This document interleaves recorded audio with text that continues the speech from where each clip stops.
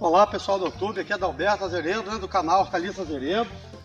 Hoje, né, cedinho aqui, ó, para trazer mais um vídeo aí para vocês aí do canal, né. Hoje eu vou mostrar para vocês aqui aqueles brócolis né, que eu vim a, a, transplantar aqui na minha horta. Tá bem bonitinho já, ó. Tô fazendo a capina aqui, né, cortando um pouco do mato. Tô até com enxadão assim, ó. Porque a terra aqui foi aquela terra que tá bem solada, né? Aí eu venho com o enxadão que eu vou capinando e vou... A terra como é que tá dura? E vou fofando assim, ó. Pra água vir a penetrar mais nos pezinhos do brócolis, né? E levar mais nutrientes para a raiz deles aí. Mas estão bem bonitos aqui, ó. Aqui tem em média aqui uns cento e pouco pezinho de brócolis. Esse brócolis é aquele ramoso, né? Não é aquele que dá um, uma flor só, não.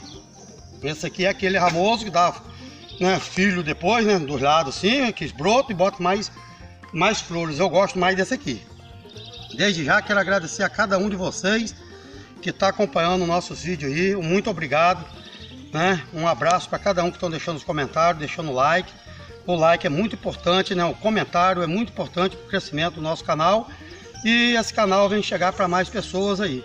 Hoje também, pessoal, eu vou mostrar para vocês aquela bandeja, né, que eu semeei a alface americana e a mimosa, elas vieram a germinar muito bem, mas após a germinação elas estão morrendo. Eu não sei o que está acontecendo, não sei se é o substrato que não está não, não tá dando certo. Eu vou mostrar para vocês depois, se vocês já fizeram lá e aconteceu isso, me, né, se vocês me dão uma, uma dica aí, me, deixa nos comentários aí a dica o que, que eu devo fazer, que está morrendo lá que vai morrer tudo. Então aqui ó, o broco tá bem bonito, olha o que eu tô fazendo aqui, ó. mostra aqui câmera, mais próximo.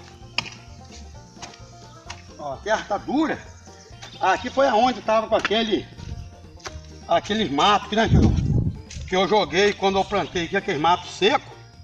É, esse mato também está trazendo bastante nutrientes para o nosso solo, ó. E está servindo, né? Essa cobertura morta aqui em cima, aqui, ó.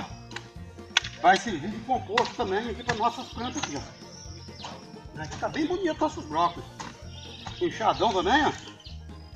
Esse enxadão, ele, ele tá penetrando bem na terra, né? Tá fofar mais um pouco que a enxada. A enxada a gente não consegue é, pro, é, né, fundar muito, né? Fofar muito a terra.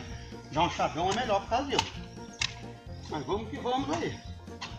Eu acredito que esse brócolis aqui vai, vai dar bem bonito aqui que a terra está muito dura e é muito importante a gente desfolgar a terra um pouco assim, ó. Senão a água acaba não penetrando aqui, ó. Vamos que vamos. Aqui, pessoal, foi aonde né, eu filmei plantando aqui, ó, tá com bastante pedra, né? Tá bastante dura a terra, ó. Aí, ó, tava com aquela cobertura de mato seco, ó, como é que tá ficando bonito aqui na hora que eu tô Tô fofando aqui agora.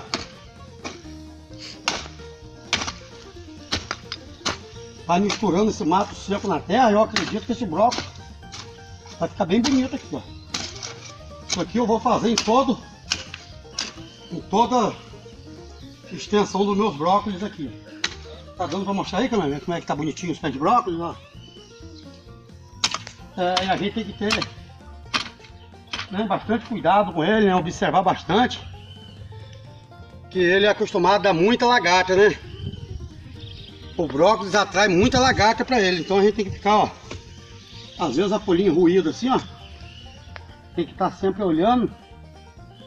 Que às vezes ele vem atrair lagarta e se deixar ele rapidinho, ele acaba, destrói o canteiro de brócolis. É muita pedra, pessoal, olha só. Essa parte da, da, do terreno aqui tem muita pedra.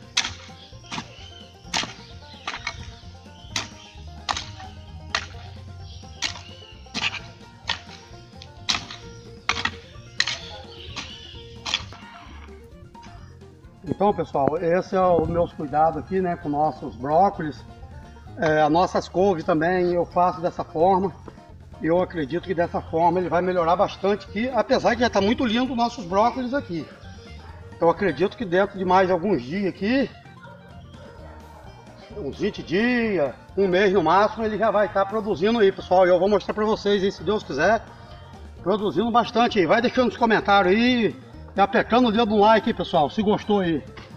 Ó, agora eu vou lá mostrar para vocês a minha bandeja de mudinha de alface, como que tá lá. Ela tá bem debilitadazinha, pessoal. Vamos lá, cameraman. Então, pessoal, aqui ó, tá minha bandejinha, né? Daquelas mudinhas né, de alface que eu fiz. Eu botei aqui embaixo do sombrite, né? Que o sombrite é 40%. Elas vieram germinar todas. Todas as células germinaram. Agora elas estão dessa forma, ó. Ela cai e morre, ó. Ó, ela cai dessa forma, caindo todas, ó. Acabei de molhar agora. Tô mantendo sempre úmida, né?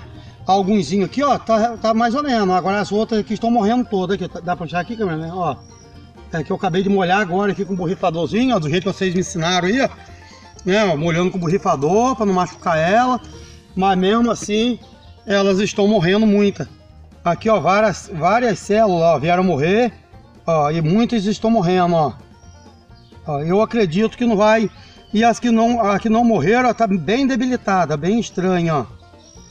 A única que tá bonitinha é a americana, que é algumas, mas muitas vieram morrer também, ó, e estão caindo, ó, morrendo. É, se vocês souberem aí é, o que que tá acontecendo aqui, porque foi a primeira vez né, que eu semeei na bandeja, né? Nossos alface americana, a mimosa, eu nunca semeei alface em bandeja. É, eu acredito que não vou nem semear mais, porque é, a gente, né, é um gasto, é, a gente compra semente caro, substrato, é, perde muito tempo, né, para fazer as bandejas e acaba é, perdendo as mudinhas. Não compensa a gente perder tempo, né? E perder dinheiro também, jogar a semente aqui e acabar perdendo a semente. Eu vou ver que eu semeio, é, se eu não conseguir fazer mais, né, melhorar, eu vou semear aquelas outras na terra mesmo para ver. Porque na bandeja eu tô achando que não vai não vai fluir não. Mas se vocês souberem o que está acontecendo aí, se é a falta d'água, eu não sei o que, que é, eu estou mantendo sempre úmido. Mas, ó, muitos morreram e muitos estão morrendo. Caindo, ela cai, murcha e morre. E se vocês souberem puderem me ajudar nos comentários aí, deixa os comentários aí o que, que eu devo fazer. Né? Se eu devo continuar semeando na bandeja. Né? Porque aqui não está dando certo não. A salsinha foi dessa forma também. Germinou, depois vieram morrer, eu botei no chão. Depois elas melhoraram um pouco. Mas a, a alface aqui eu tô achando que não vai, não vai fluir não.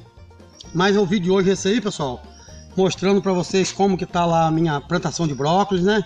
Estão muito linda. Tem até mais algumas mudas que vou ver que eu levo para lá.